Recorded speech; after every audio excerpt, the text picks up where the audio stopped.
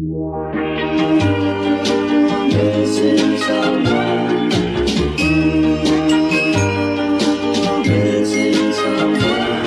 morning and welcome here to Philadelphia. I took a bus last night from New York. Here it took me about two hours. I've stayed in a place called City House Hostel. Not bad, quite cold, few snorers in the room, but now I'm absolutely ready to explore Philadelphia for the day. There should be loads of historic sites to see, a prison, many many things I want to explore here. So come along with me and have a look around Philadelphia. Missing someone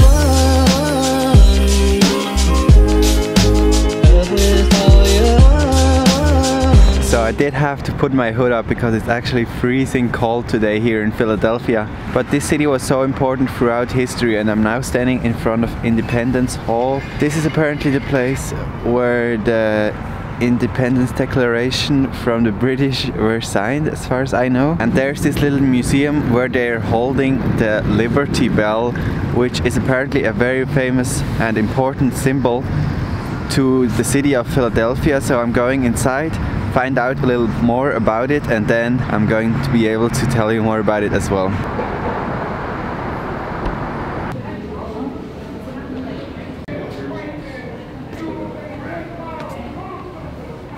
Perhaps the State House bell rang with all the others on that important day too, in the Declaration's promise of freedom.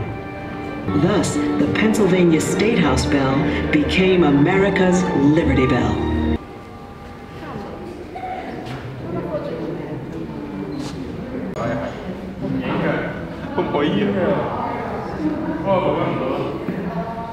don't have to stand back there. You can come up, go around, take pictures in it's all. So it was very nice in that museum. It was actually free of charge, and I learned a lot more about the importance of the Liberty Bell to the American people. It's a great symbol of freedom, American patriotism, of course, but also democracy and getting rid of slavery. Originally, the bell was just called State House Bell, but then they renamed it into Liberty Bell as it became, as I said, a great symbol of the anti-slavery movement. I must say it's an absolutely freezing day here in Philadelphia today, but there aren't many tourists around at all.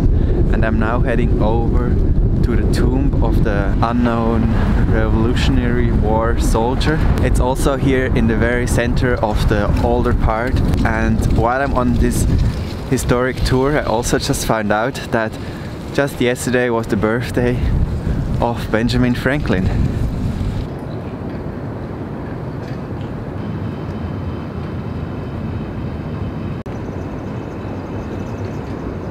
Over the last few months I have visited quite a few important historic cities for the United States of America, Washington DC, Boston, now here Philadelphia and of course I'm in New York for most of the time and it was quite an interesting experience. A few symbols reoccur of course, but there are definitely some interesting differences as well. It just started snowing and I'm making my way over to the western part of the city to a very very famous prison where Al Capone apparently was imprisoned. Very excited to see.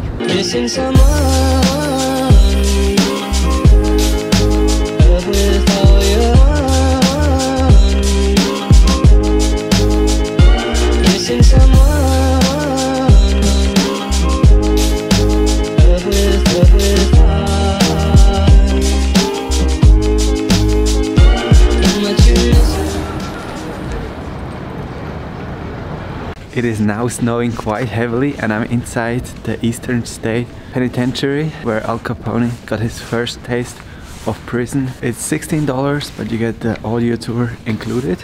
It looks very interesting so far. Not many people here at all.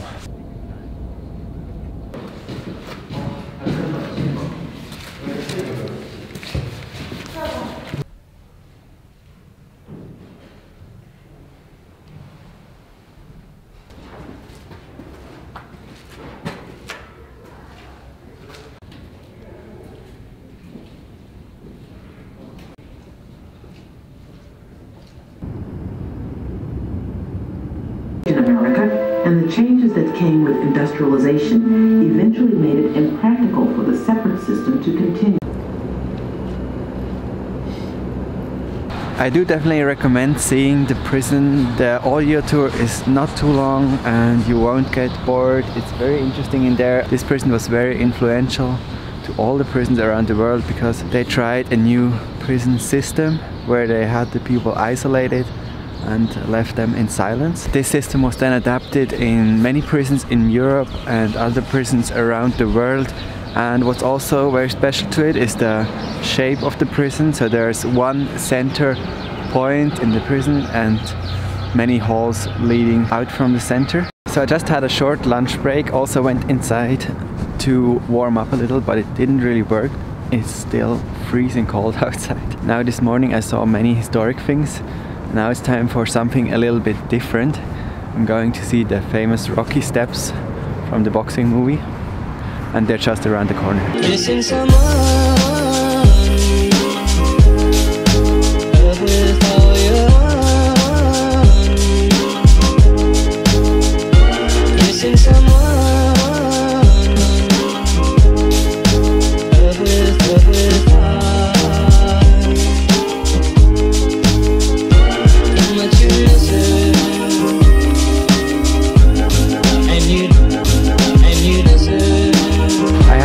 Left the Philadelphia Art Museum, came outside, everything was white. The city looks beautiful, covered in snow, and the museum was great as well. At first, I didn't plan to go inside, I just was going to see the rocky steps, but then I thought, oh well, it's quite cold, so and it was definitely worth it. It was $14 with a student ID and 25 without. They have Asian art, American, European art, a very, very large collection. The last thing I want to see here in Philadelphia today is the Fairmount Park. It's just behind the museum. I'm gonna have a quick explore. Then I'm gonna go back to the hostel, grab my bags, and go back to New York this evening.